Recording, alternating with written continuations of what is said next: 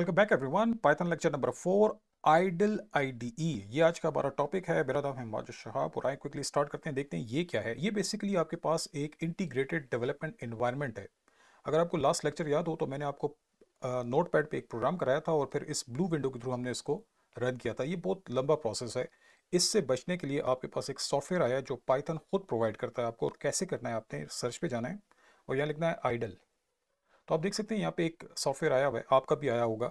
जैसी पाइथन आपने इंस्टॉल की थी, ये आ जाता है। आप इसको क्लिक करें तो एक इन्वायरमेंट डोर होगा आपके सामने, इसको हम बोलेंगे आईडीई ये एक छोटा सा इन्वायरमेंट आ गया और ये अभी आपके पास थोड़ा सा इंट्रोडक्शन आ गया इसको आप ओपन कर लें। और ये जो तीन आपको टैक्स मिल रहे हैं, ये तीन टैक्स अगर आपको नज़र आ रहे हैं, ये, इसका मतलब है ये रेडी है इमेजेड मोड पे। आप यहाँ पे लिख सकते हैं टू प्लस थ्री तो आप देख सकते हैं आंसर भी आ रहा है फाइव लेकिन अगर आप अपना खुद का कोड स्टार्ट करना चाहते हैं तो आप जाएँ फ़ाइल पे। न्यू फ़ाइल ये आ गया आपके पास पूरा एक अलग इन्वायरमेंट इसमें मैं आपको पहले सेव कर लेता हूँ अपने कोड को सेव एस अच्छा ये कि आप पहले सेव कर लिया करें? और हमारा ऑनलाइन वाला, और इसमें फ़र्स्ट प्रोग्राम की बजाय मैं लिख लेता हूँ सेकंड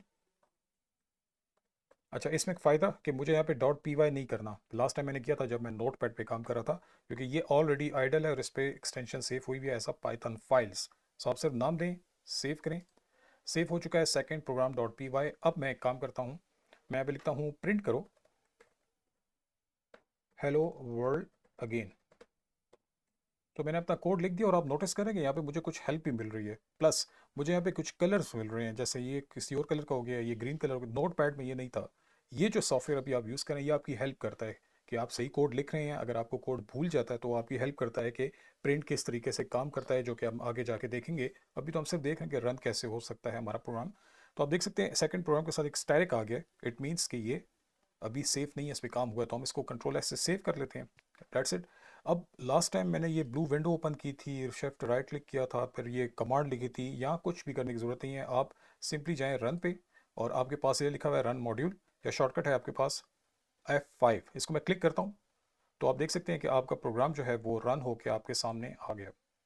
अब मैं कोई चेंजेस करता हूँ इस पर hello world again one two three and so on control S save F five अगर मैं कर दूँ मैं भी करता नहीं हूँ कोई रिकॉर्डिंग में प्रॉब्लम ना हो जाए। सो so, आप देख सकते हैं कि यहाँ पे hello world again one two three भी आ गया।